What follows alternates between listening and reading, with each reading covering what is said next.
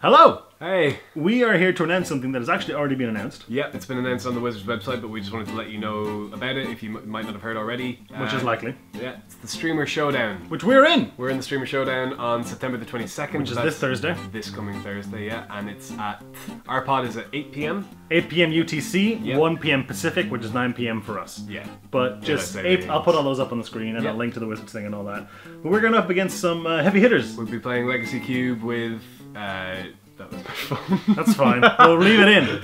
One take. One take.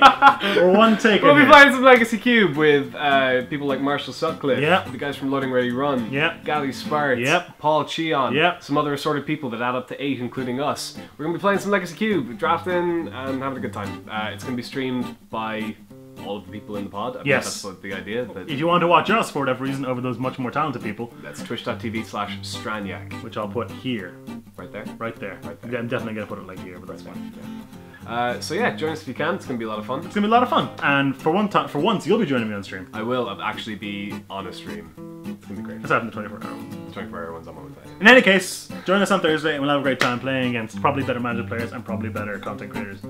So small Yeah. fish, in, small fish in big pond. But come watch the pond. Yeah, it'll be a great time.